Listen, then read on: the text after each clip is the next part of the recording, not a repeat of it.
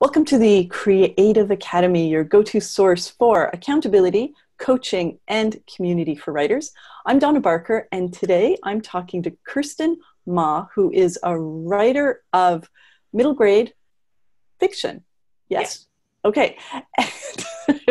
um, I've been I've had the pleasure of working with Kirsten in a mastermind group, and um, she had mentioned at some point that she is uh, has been part of a book club for five years now. Is that right? Yeah, about that. And you started this book club. Yes, yeah, myself and uh, two other non-writer friends started. Um, I'm the last one standing. the last. so both both of the founders have since one moved away and one has decided that her life is too chaotic for a book club, and uh, so and then so now I'm kind of running it and it's but you've got other people. It's not just you oh, and yourself oh, yeah yeah. There are other there are other members. It isn't just me but yeah the original the original founders have uh, yeah. dropped off except for me. Right. So i thought it would be really interesting to talk to you about the value that being in a book club has to you as a writer so yes. that's what we're going to be talking about today.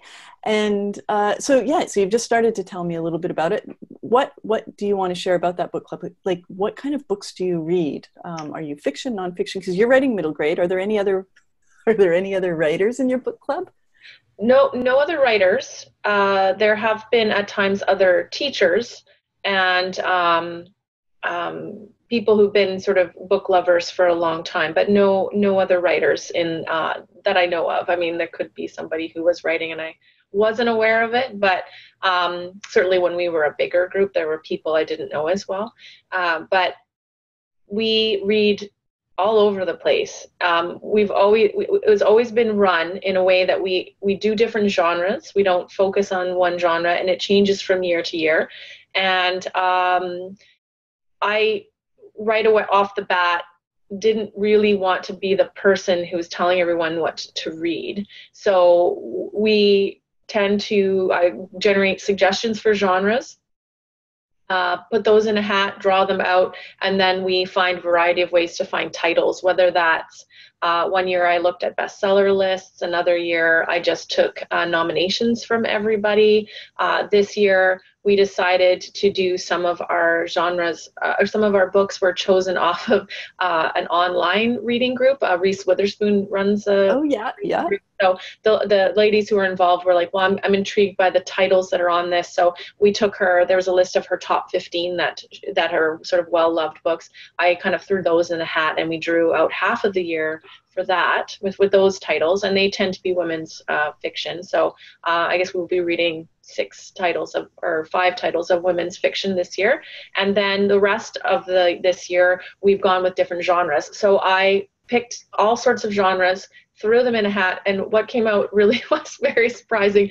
Uh, and i am not sure how it's going to be received but we're going to be reading graphic novel this year we're going to be reading poetry one month and we're also going to be reading a collection of short stories Oh wow, very yeah. diverse. Yeah, and then because the the people that I'm involved with, again, I should say all women because we don't have any men in our group, but the women that I'm involved with um, uh, want to be challenged and want to be introduced to some different books, but they don't really know where to start. Mm-hmm. So they tend to look to me to kind of be their conduit to um, book titles and um, that that sort of thing because they, they they they all know that I'm a writer, so they kind of feel that I have my finger on the pulse, I guess. Um, That's so, neat. And yeah. it's a real I've not I've not heard of that approach to choosing books for a book club. It's a really yeah. neat approach. It's, it's very democratic.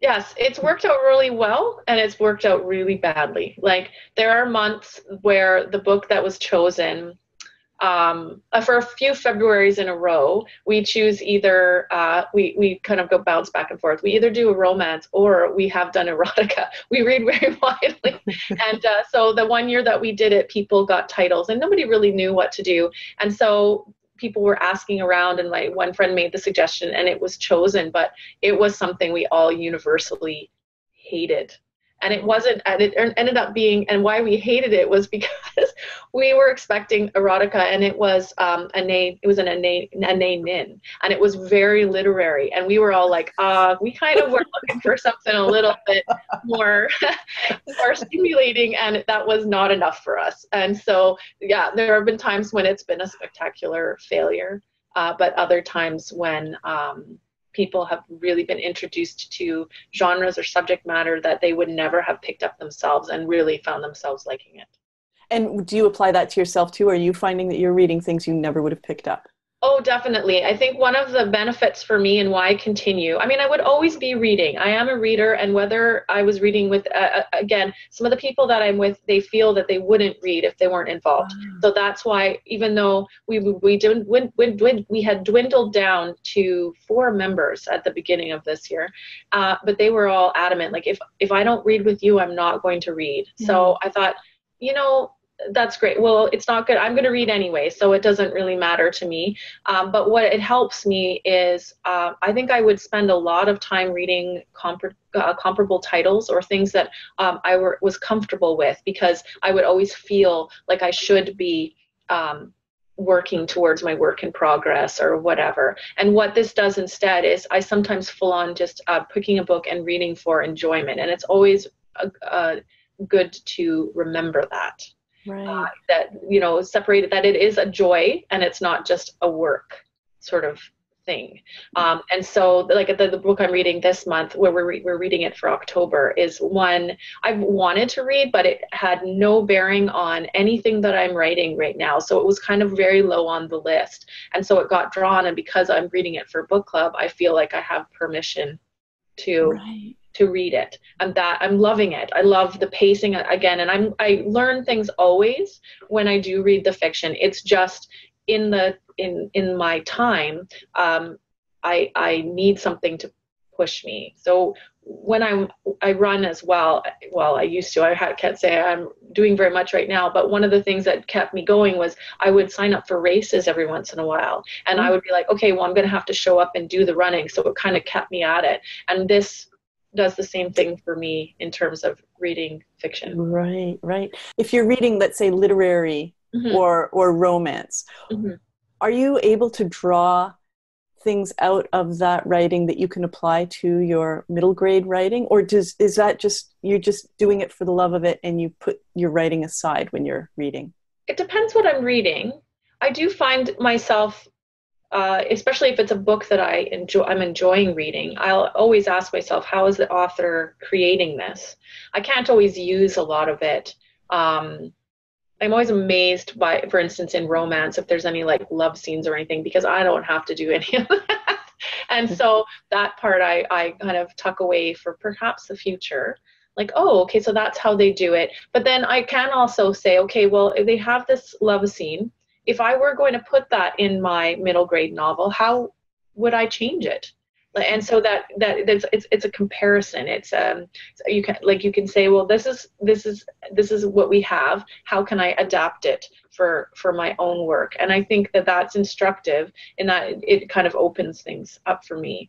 And I there's always techniques that you can learn from anyone that you are reading, um, and things to like and not like as well um, I, I I find one of the reasons I love reading middle grade is that there's always a sense of hope, and that is one thing I do miss sometimes when I'm reading um, some of the literary in particular. I, I find actually quite a slog to read personally because I don't. I find that that I haven't. Maybe it's just the ones that I've chosen to read, but I I miss that sense of wonder and hope that kind of uh, always underpins a middle grade novel. And i i so it reaffirms my choice to write in the genre um, because it, i do derive a lot of joy in sharing that and reminding everybody that that's part of um, of the world. Um, and i sometimes it's i sometimes i really miss it when i read adult novels. Right. For for authors who are no okay so you're you're never really taking off your writer's hat but it's or maybe it's it's kind of sitting there on the side of the desk yeah. I guess right? Um, now have, have you ever had your book club read anything that you've written? Is that something they've ever asked? No, no, they have never asked, and I, I, I don't know. Um, it, I'm not at the point with the work that I'm in that I would feel confident in having having them read it. When I got to that point, I think it would be very instructive to have them, and I would be interested to see what they have to say. But um, I've never, I've never kind of crossed the two worlds. I haven't at this point, uh, uh, but that's also because I understand the demands that they all have on their time. So we meet once a month, and um, for some of the ladies, getting through the book in the one month is a challenge for mm-hmm. them with their mm-hmm. schedules and everything. So um, I, I, can't say that I'm a really strict book club leader. Like if, if people haven't finished the work or uh, they haven't, you know, even sometimes it's been months when the people when people come and they haven't even cracked the book. and so it's more about, well, you know, great. At least you you tried or now you're exposed to it and maybe someday you'll read it and it's it's more that sort of an environment type.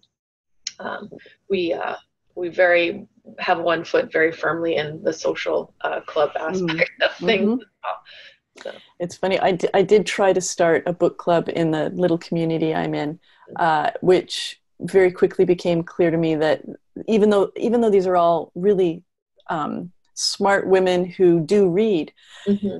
the challenge of coming up with a book that everyone said that they'd be willing to read was impossible. And so we started an article club yeah and that's that that was fabulous for a couple of years and it's degraded into meeting without even bothering to have an article but when we were yeah it's, which is disappointing because it was it really was you know you'd find an article in the new yorker so you know mm-hmm. like five or ten pages long and it would be on a topic that yeah. everybody could discuss and we really got to know each other quite well yes. uh, in this community but the book club thing just hasn't so it's been uh, yeah, no. I was going to say I was part of a book club very briefly back when I lived in the city. Yeah, um, but I never have been. It's it's kind of funny though, uh, and I think that's one of the instructive things for me as a writer. How people f- have this desire to read, but feel that they that they don't have the time, and that is a puzzle to me. And so I do. I kind of ask, what is it that keeps you from reading. Mm-hmm. Um, I mean, I do sometimes struggle to find time in the reading, but to be uh, like to be honest, I don't find it that hard, even with my schedule, to read for 30 minutes to an hour every day. And I don't read before bed because I fall asleep. So I, in the other parts of my day, I do find the time, and I, I don't know whether it's um, because I've given my, myself permission to. Uh, I don't know if it was because my mother was a big reader, and so uh, she would sit down and read and we weren't allowed to talk to her and that was how it was kind of raised like no i'm reading. And um, so uh, you know she had taken that time for herself and maybe that's kind of disseminated down to me um, and now disseminated to your kids. Oh yeah for sure. All of them will just wherever. And so and so much so that i've added like a chaise in my office and a bunch of other kind of places where people can just kind of sit and read whenever. And everybody you know there's just books everywhere. And in fact it's kind of funny that i sometimes i'm like there's a giant stack of books on my stairs which the girls have kind of been reading. And they just i find books everywhere. And i'm like well i suppose it could be worse.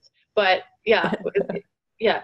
But it but these other women that are in my club they don't I don't know if they haven't given themselves the permission. I'm not sure what that is. Mm-hmm. And so that is as a writer something that I do think about when I'm when I'm writing, particularly because I write middle grade. Because um, as I see with my students now, because they're right kind of in that age range, some kids really love to uh, to read, and others um, they stop. And I don't know what it is really that causes it. So just kind of creating an environment which encourages people mm-hmm. to keep at it, which is probably why you know as as um, distressing as it is sometimes when people come and they haven't read, um, the I wanted to reward them for even the I'm going to try it. Like I, I'm I'm committed and I'm going to keep coming.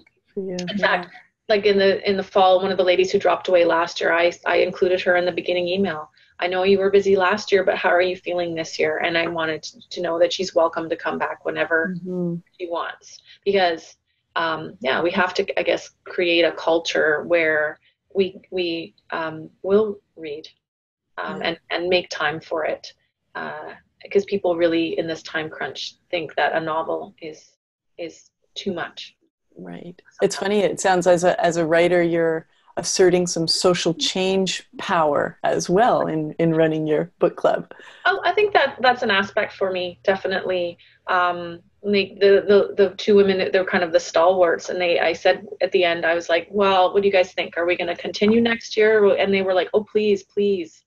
And they know that this is an area that i have expertise in and that they can count on me to organize things. And it's not a it's not a giant commitment on my part i don't feel. And so um, but it, it's keeping them it's mm-hmm. i'm i'm their accountability buddy in that way. Yeah. so um so that that's another reason why i keep at it so do you do you uh, rely on the book the questions for book clubs at the back of books or do you come up with questions yourself how do you facilitate those meetings there are some really great websites uh, that uh, some of them have some like general questions to ask about fiction. I, I can't say often in, as a way to keep my load a little bit lighter. I will fully admit that I will always find try to see if I can find questions online. Um, but I tend to teach that way too. I like and, or, and cook that way. I want to see if there's a recipe out there, and if it fits the way it is, great. If it doesn't, I'll edit. Um, and I bring them. I oft, uh, if there are questions specifically about the work, I will send them um, ahead of time so people can read them. Although um, we used to kind of answer more, now people are feeling a bit more confident to just sort of look at them and then answer them off the cuff. Mm. Uh, I kind of play it by ear. Um, we we read a historical fiction novel over the summer, and we met last week for our first meeting and uh, I think I got to one or two questions. But the work itself was was a Jane Austen esque kind of historic or historical romance, and we could have gone into nitty gritty. And I um, I'll sometimes even throw in some of the writing questions, like what did you think about the pacing or things that I'm curious about. Mm-hmm. Um, but this book, I mean, it was it was okay. It was kind of entertaining, but we often do that. Like our our summer read is often like you know trashy beach novel or whatever just to keep us kind of going.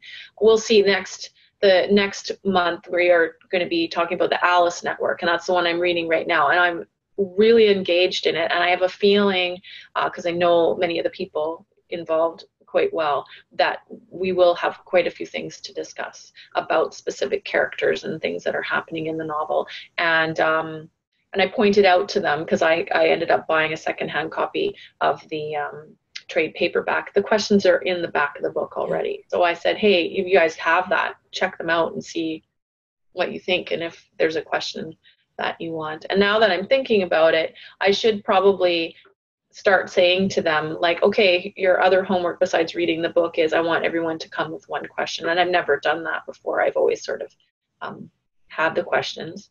Um, and then sometimes i found another website that even had like games and things that you could play like um, who would you cast as a person in the novel? And um, sort of more like uh, teacher type ideas i suppose like for activities to do. Uh, and i did that sometimes when our group was bigger just because the discussions could go on for a really long time. Yeah. Um, and uh, it's just a different way to kind of approach things. But yeah, i always look first to see what i can find. Um, and then i have also in the tucked away some sort of general questions about um, about fiction about i have ones for not i have a set of questions for nonfiction and a set of questions for fiction. And they're i mean they're pretty basic but. But and you you said sometimes you ask questions because you're interested in mm-hmm. how people will and and again is that you're interested as a writer understanding oh, oh definitely. Oh definitely. So if there's something that people are have finding contentious or like uh, somebody will be like oh i hated that character. And i you know having read it myself I would be like, well, I didn't hate that character. Why is it that you hated that character? And then kind of, I mean, and it comes down to a lot of, there's so much personal taste. So I, one of the things as a writer that I'm heartened slash horrified about is how much people will read it and they'll be like didn't like it and it can have there can be absolutely very little oh they rubbed me the wrong way or i never like people like that and so um I'm horrified because I think, oh my God, what if they think that about my work? But then I'm also, but but I'd be like, but that's nothing. That's nothing to do with me, and everything to do with with them. Yeah. So it's taken away some of that weight. Like I cannot please all the people all the time. I think that's the number one thing I've learned. You cannot. It's it's, it's impossible. That actually sounds very empowering. You know, when people bring baggage with them uh, from their own lives and, yeah. and experiences they've had with reading other things, and um, not a lot you can you can't mm-hmm. control that. So you can't you can't control it. What you can control is how well it's written because we have written um, because we draw out of a hat. So last year I had one of our massive failures was in we read romance in uh, February, and what I had chosen to do was Indigo has top ten lists of of their books, and um, I thought, okay, well, that's a good, I'll just get the titles off of that because they were feeling, the other people were feeling a lot of pressure. Well, I don't know how to come up with the titles and I don't know, what, you know, I'm, I'm trying, but we're not getting enough. So I said, okay, well, I'll just look at this and we'll go off of that. Now, I didn't realize, I mean, I just assumed it's Indigo, right? I just assumed that they were all really published books, but there were ebooks in there as well. So we ended up pulling this book was an ebook written of, a romance, but it was a very badly written ebook. And it was in their top 10 when i went back later and kind of tried to analyze how it had it was in that price range. You know that price range where the three like they there's all those people who churn it out. And i'm not even sure that this book was fully edited before it was put on. Wow. That's and i was like but it's on the bestseller list on indigo. So that was a little eye-opening for me as well uh, and then I thought I felt really bad for subjecting everybody to that. But it was interesting to talk to them about it because I wondered. I was like, I wondered, well, are they going to notice? Or are they not going to notice? And they, they did. They did. They, all of them were like, and right away, then they came to. They were like, so what did you think of it? Right away as a writer, like, and I was like, oh, first of all, I'm going to apologize because I had no idea. So I was able to educate them a little bit about that part of the industry and things to look for. Um, you know, they all said, well, I suppose if you were looking for something to read on the bus, it wouldn't be bad. And it's less than a cup of coffee. They did realize that part, but they were like, in the grand scheme of things, uh, that's not why I read. Like, I'm not right. trying to fill time. I do want to, to be. Uh, so yeah, so that was an interesting conversation we had about about craft and about um, uh, and about um, like editing process and that sort of thing. So again, they kind of looked to me to to know some of those things. I, and I've always, as when I first started writing and people were telling me this stuff, I had no idea about how they place books in Indigo and all the marketing and all those sorts of things. So, um, you know, ho- hopefully they're learning uh, some tips on how to choose good literature. As, um, as are you, it sounds like. Yeah, yeah. and then and then later in the year, um, one of the ladies, um, through someone she knows, a friend, uh, the brother-in-law of this friend had written a book and it was another ebook and i was like oh my goodness i don't know about this and she's like well here's the thing like if we read this he's coming and he'll he's willing to meet with our book club yeah. and i thought okay well that's a great great opportunity for them to actually speak to another writer like one and they've read their read their work because they have not read mine mm-hmm. uh, and i thought i was a little nervous especially when I started reading the book, because while the story was fantastic, it was the, this man wrote the story about his father's life. Um, it's called Flip Flops and Flying Cats. If you want to check it out, like it is this, you couldn't you couldn't make this stuff up. This man's father uh, decided he wanted to uh, live in Africa, but he couldn't get a job there because he's an Englishman and he was a gardener. He's like, okay, well, how can I live in Africa? How can I pay for that? And he decided, oh, I know I'll, I'll deal drugs. I'll, I'll be a drug mule, right? yeah, yeah. So, um, uh, and uh, but then he got caught, and he went to prison in Kenya, um, and he was in prison for I want to say a year or 18 months, something like that. But I mean, this is a prison where they, they don't actually ever send white people there. So, anyways, so you can't make this, you cannot make this stuff up. But it was, um, I realized right away that um, he wrote it based well, and he, when we met with the author, a lot of my questions were answered. He basically interviewed his father mm-hmm. and wrote it how his father said, and that's how it read. It was very much like this: you were talking to this old English man, and he was telling you this story. Which isn't necessarily what I look for in a book. So I think the ladies recognized that, but they were really engaged in it. And when we met with the author, he sort of admitted, well, he would really prefer it now to be a movie, which it would be an un- un- mm-hmm. unbelievable movie. And he's actually trying to turn it into a screenplay. Oh, but, so it was a very interesting um, exercise and eye opening to me to know that when there's a personal connection with an author, uh, readers are very much more forgiving than when you don't know this other woman. We had not met her, the romance novelist, at all. It was very easy when there's no personal connection to just be like, well, that was trash. But when, when you knew you're going to be meeting the author, that people are willing, it, it humanizes the work, and that they're willing to be. They were, we were all very engaged in the story because it's an unbelievable story and they had great questions and it became more about the story because of the, we knew the author and less about the writing the craft the right craft, yes. yeah um, so if you were to be giving advice to a writer mm-hmm. or an mm-hmm. author who was thinking that it might be valuable to them to start a book club do you have what what would you recommend to them don't go into it with the thought that it's going to be all about your writing because it's it, it I don't I don't think that you would get a lot of you'd get a lot of satisfaction out of that. I think you have to join a book club and be involved with one because you love reading number 1 and you like you want to share that with others. And um, when you share your passion with others, um, and you sort of say to the world, I love these books, then amazing things happen. And if you then ask, or I still, you know, you're always asking the questions in your, you, you'd be amazed what you get um, out of the experience. But if you go in thinking, well, I'm going to have this book club because I want to, it's going to help me learn to be a, you know, a better writer. I'm not sure that would land very well with other people. I think they might feel like they were kind of like an experiment or right, like a mark, like what, what are those focus, like a focus, focus group. group. Right. And, uh, um, I'm not sure how enjoyable that would be. And I think people would feel put on the spot. I'm thinking a lot of these things and I'll sometimes ask the question, but generally I'm listening to what they're saying, not making a point of always being about the writing. Because mm. they they are all coming at it from different perspectives and I need to respect the perspectives that they are coming from um, and why they are involved in the book club and sort of try to find a balance uh, to meet everybody's needs, to make it enjoyable for everybody. I think that's great. I mean, great advice and also a lovely perspective. I mean, as writers, I assume most of us are writing to make someone's life more enjoyable while they're reading or teach them something or yeah.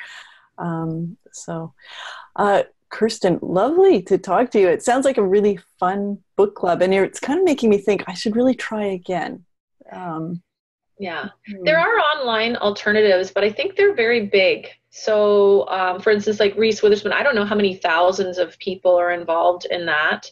Um, and then who's the the young? Oh, why have I forgotten her name? I'm embarrassed. Uh, Hermione Granger. Oh, Emma Watson, yeah. Emma so Watson has yeah. got a really, really big one as well. Yes. So, but I think it would be very easy to kind of lurk around the edges of something that large and not really be connected.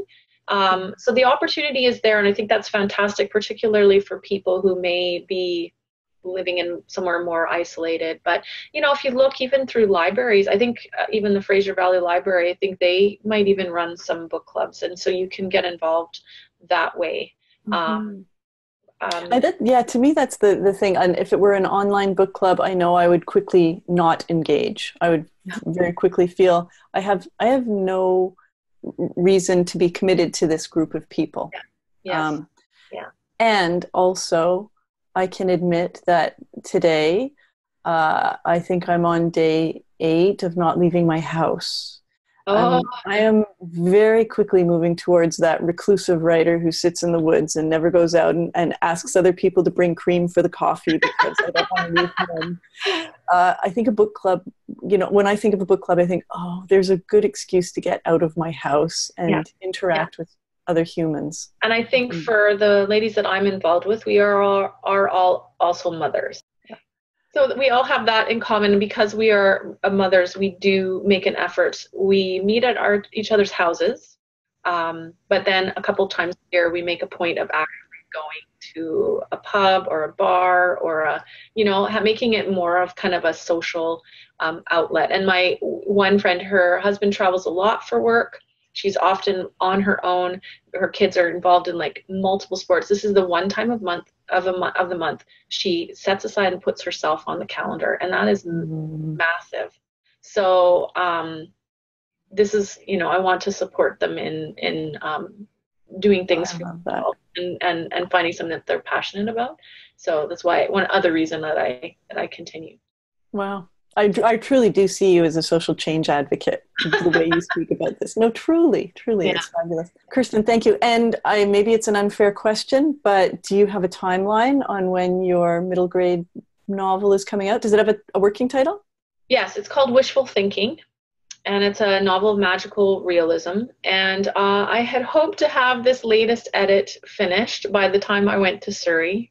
Uh, that did not happen. It will not happen. I'm only about halfway through. So I think my new deadline for myself will be the end of the year because uh, I've got this teaching gig going on and that's busy. Um, and so I've set aside some time to kind of get some work done before I go to Surrey. So I know that at least the front half is uh, pretty tight so that mm-hmm. I, I am meeting with an editor. That was why I made Surrey the um, the deadline. I had a face to face meeting and I just Excellent. wanted it to be done. And uh, so, and for, for folks who aren't aware, Surrey is the shorthand for yeah, the Surrey for the Surrey Writers. Writers Conference. Yeah.